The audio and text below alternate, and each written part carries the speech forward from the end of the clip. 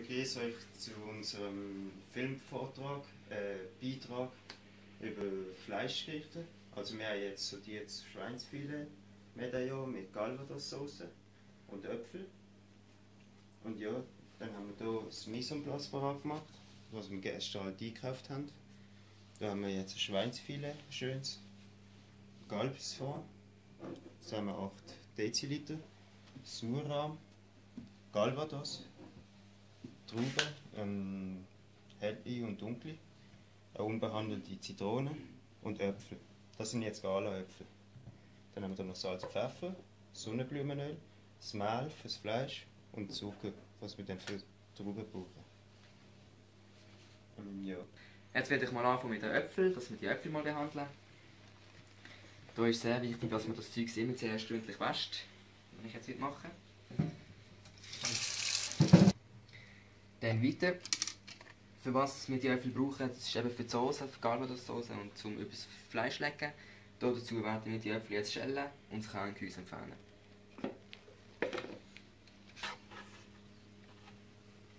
Dann, wie gesagt, mache ich jetzt schnell mein Zitronenwasser parat, dass ich die noch gerade reinlegen kann. Das tue ich die Zitrone schön halbieren. Also du hast sie nur beteufeln, oder? Du brauchst kein Wasser. Dann tue ich die gut auspressen, dass es braun wird. Ja. So.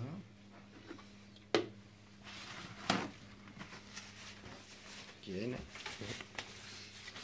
Das Häppchen ganz schnell abputzen, wenn man das Papier hat. Gut. Dann brauche ich jetzt Äpfel einerseits zum Scheiben machen, zum aufs äh, das Fleisch legen danach. Und aus dem anderen Teil der Äpfel mache ich Würfel für in die Soße, die wir haben. Dann schneide ich jetzt mal die Scheiben da. Es sollte etwa 1 cm dick sein, So. damit es auch schön passt. Dann.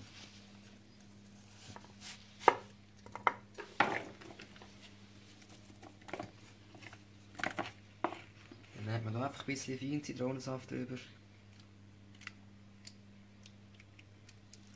Durchschwenken, Das zur langt. fallen Seite. Ein bisschen mischen schnell. Dass wirklich überall ein Zitronensaft dran ist. Wunderbar. Und aus der nächsten, aus dem Rest vom Äpfel mache ich jetzt eben die Würfel für die Soße.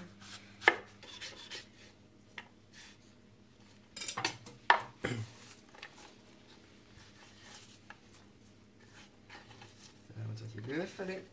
Die brauchen wir momentan auch noch nicht gerade. Tun wir das nochmal schön mischen. Vielleicht noch ein bisschen Zitronensaft oben drüber. Was wir noch haben. Dass die sicher nicht braun werden. Zubereitet. Das Fleisch, das ist eben das Schweinsfilet jetzt. Das, das kann man jetzt gut erkennen. Also das ist jetzt ein gutes, weil das, kann man, das erkennt man hier. Sagen wir, wenn jetzt ein Lieferant kommt, dann gibt es also einen Ablauf. Man nimmt den Bestellschein, schaut, ob das das Richtige war, was gekommen ist. Dann äh, kannst du die Temperatur messen, die sollte ähm, bei 0 bis 2 Grad sein eigentlich. Und dann musst du schauen, muss man schauen, dass man die Kühlkette auch einhält.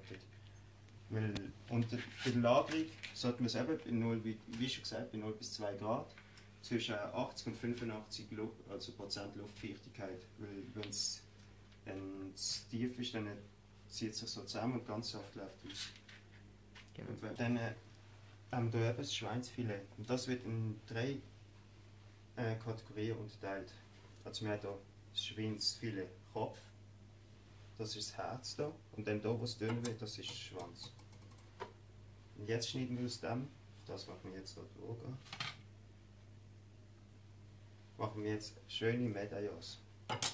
Die haben ein Gewicht von 40 Gramm. Dann machen wir das. Eben. Schinken. Das Salz und Pfeffer. Wie ist noch ein Fleisch? gut?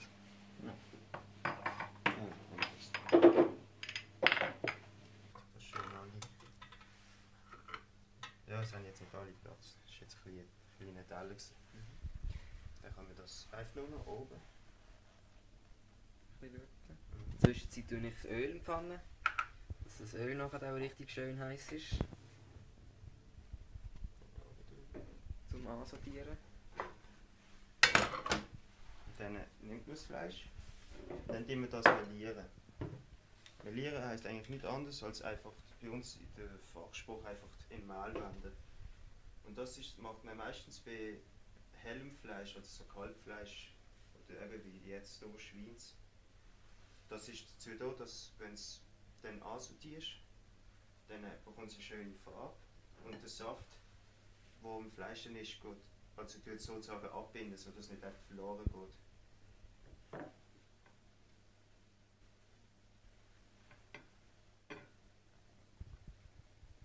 Hier von einer Seite.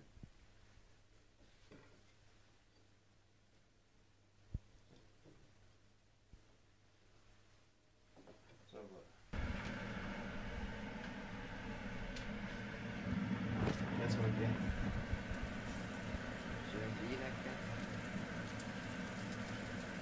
Während wir jetzt auch das Brot ist, will ich euch etwas über das Sortieren erklären.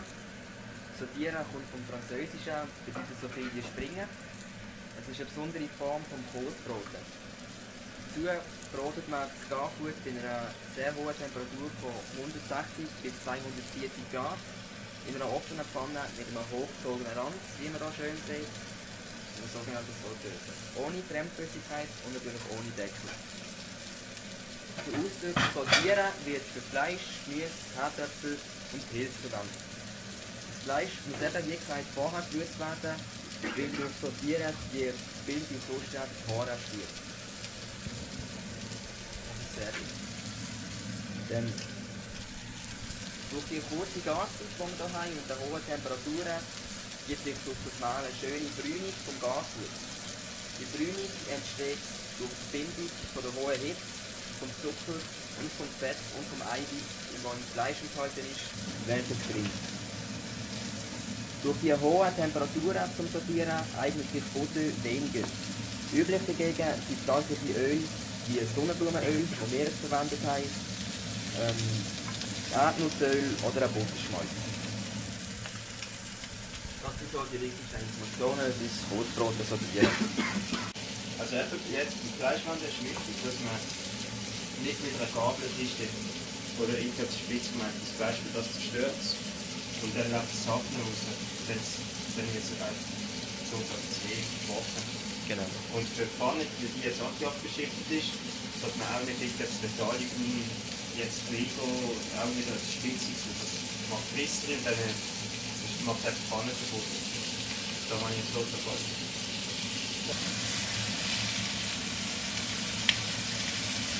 Weil die Pfanne muss immer genug heiß sein. Sonst kann sie nicht entstehen.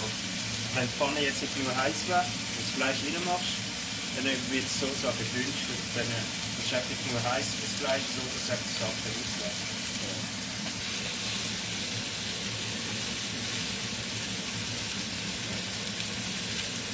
Das ist auch schön Farbe. Kann man das reinnehmen? Dann ist auch Zeit. Das gut. Dann machen wir das da. Dann haben wir hier einen Ofen vorbereitet. Also vorbereitet auf das Backblech. Teller zum Wir Anrichten. haben schon Teller drin in der Wärme Anrichten. können anrichten. Wir haben es auf 80 Grad gestellt. Dann machen wir die noch oben. Wieder zum Warmhalten. So. Und stellen es jetzt so ein ganz bisschen. Jetzt. Gut, dann nehme ich wieder. Dann gehen weiter zu den Äpfeln, die ich vorher vorbereitet habe. Man sieht, die sind nicht ungut, die sind alle schön in der Farbe. Die tun wir jetzt auch schnell, gerade in dieser Pfanne, die wir hier bereit haben. Die tun wir die nachher ansortieren, auch kurz, dass wir die nachher dann übers Fleisch legen.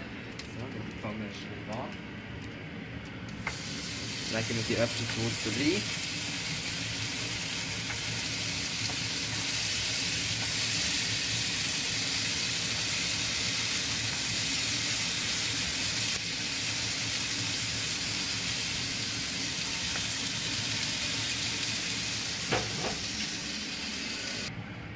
Und die Äpfel ebenfalls gerade in die Wärme, dass sie ein bisschen warm bleiben. Hast du noch Platz? Ja, ja. Das geht schon. So. Wunderbar. So. Dann übernimmt mein Kollege wieder, dass er für die Soße gerade, die Soße machen wir gerade in dieser Pfanne. Da ist jetzt der ganze Geschmack Du drin. hast den ganzen Geschmack schon drin, was er gegeben hat. Dann nehmen wir die Galvados. Du musst nicht etwas sagen, schnell anziehen. Calvados bereitstellen.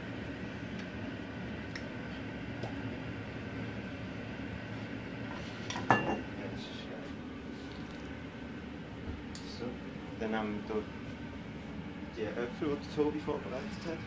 Dann, wir nehmen jetzt nicht alle, weil so viel. So. Dann machen wir hier Bakerie. Das ist so. Und dann tun wir hier ein bisschen nicht zu fest die Farbe ein bisschen egal, was das ablöst. Das hat schon lange. Wenn das ein bisschen reduzieren. Stell es ein bisschen an jetzt. Das ist die falsche Arbeit. So. Stell es noch dann an, dass es ganz ein bisschen reduziert hat. Dann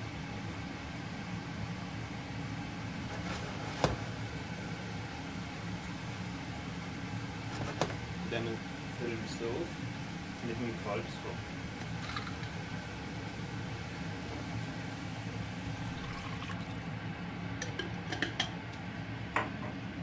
Da nehmen wir jetzt genug, weil das ist ein Kalbsfad, den muss man bis zur Hälfte einreduzieren, dass der auch wirklich den Geschmack gibt, den man will und Konsistenz. Dann stellt man wieder schön auf, dass es auch schön kann einreduzieren kann. Und dann das einfach ein bisschen kochen jetzt. Bis es eben einreduziert ist. In der Zwischenzeit, so in der Zwischenzeit, während die Soße köchelt, haben wir ja nicht wirklich viel zu tun. Dann nehmen wir hier unsere Trauben, die wir, wir gekauft haben, die nehmen wir für Garnitur, die wir brauchen. Jetzt logisch wieder das Blättchen wieder wechseln, weil wir ja kein Fleisch der Traube oder kein Fleischsaft. Wie immer. Dann nehmen wir das Blättchen wieder vor. Obst.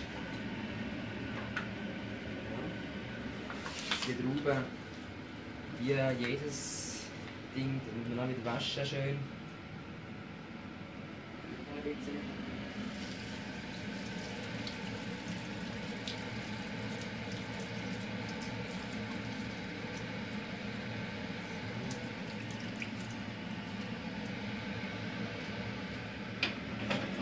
Die werden jetzt eh, aber die werden jetzt, die sind eigentlich nicht im Rezept selber enthalten, sondern nur so ein bisschen als Gar, also sozusagen als Garnitur, und das gut zusammenpasst.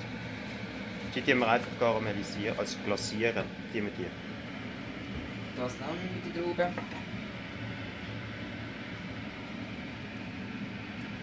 braucht nicht viel. Das ist nur gar nicht viel. Soll ich da schon mal Öl rein noch?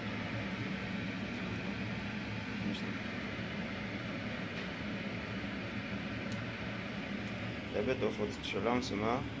Sieht man vielleicht, wie es von davon dampfen. So, die Trauben werden halbiert. Dann haben wir das auch schon bereit. Dann wir das wieder in unsere Schäle, dass es wieder auf dem Brett bleibt liegen. Dann wir die nachher nur noch kurz in die Pfanne. So. Los. Also, jetzt hat es hier angefangen einkochen. Davon. Und jetzt haben wir noch ein ganz bisschen Demi-Glas damit es ein bisschen Farbe dunkel wird und das noch ein bisschen mehr bindet. Und jetzt ist es ja optimal. Jetzt machen wir hier Sauerrahm, haben wir das, also sauer Halbrahm. Dann äh, machen wir da drin.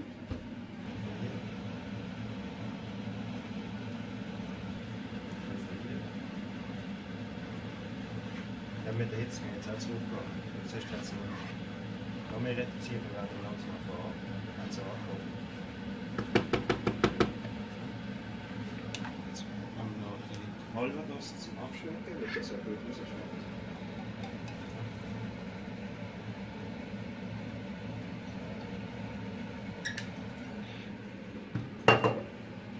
Was ich euch noch zeigen Da haben wir eben die Trauben, die wir vorgeschnitten haben, nehmen wir zur Hand. Jetzt Scheiß, sieht man da. Dann tun wir die Trauben schnell rein.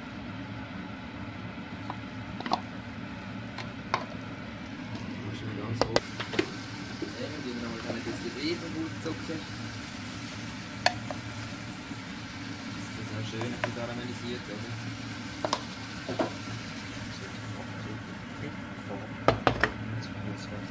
Jetzt sieht man hier, wie das Ganze von hier karamellisieren Jetzt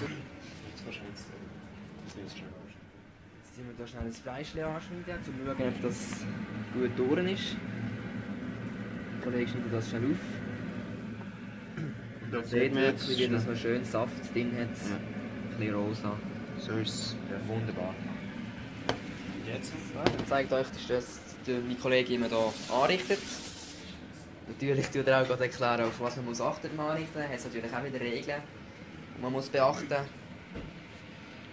Eben wichtig ist, dass man in der, also beim Anrichten sollte man möglichst, also hat immer Stärkebeilage, Mies und irgendwie, also so jetzt Fleisch bei uns oder Fisch. Dann ist wichtig, dass eigentlich alles eine andere Garmethode hat. Also bei uns ist das jetzt nicht der Fall, weil wir haben jetzt spezifisch auf Sortierung gemacht. Und dann gibt es verschiedene Faktoren. Wir sollten unterschiedliche Farben haben. Wir sollten möglichst zentral in die Höhe anrichten. Und ja, wenn es geht, dann die Schnittarten, dass verschiedene, also nicht immer die gleichen sind, zum Beispiel so alles Streifen oder alles nur Würfel. Das ist eben Genau. sehr zentral. Und dass der Teller, Tellerrand immer frei ist, also der gehört nicht dem Gast, sondern nur da. Und das keine Flecken hat natürlich. Dann, Und dann- dann sieht das auch so aus. das ist jetzt so die jetzt gemeint Medaillon mit Galvados-Sauce, Äpfel und als Garnitur Trauben. Steht karamellisierte Trauben. Okay? Dann noch, was, was der Herr Stress vielleicht noch schnell kann sagen was für Beilagen dass man dazu kann servieren was noch würde passen zu einem Schweinsmedaillon. Eben, was jetzt noch passen würde, könnte man jetzt Pommes Duches dazugeben. Oder was wir halt oft im Betrieb auch machen, so Galvados und Schweins, Medaillon, Nudeln. Einfach Nudeln. Das passt sehr gut. Und das Gemüse, das ist... Ja, Gemüse da kann man jetzt wir machen auch immer so Variationen, so, so Riebli, Bohnen im Speck. Das wäre jetzt auch noch gut. Das, äh, Kohlräbli. Ja.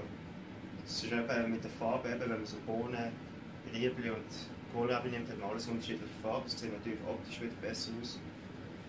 Genau. Ja. Ja, das ist gesehen, unser Film. Unser Ergebnis lässt sich sehen. Ich hoffe, ihr habt etwas lernen davon ja. Danke. wir bedanken uns fürs Schauen und ein schönes Tag. Tschüss zusammen!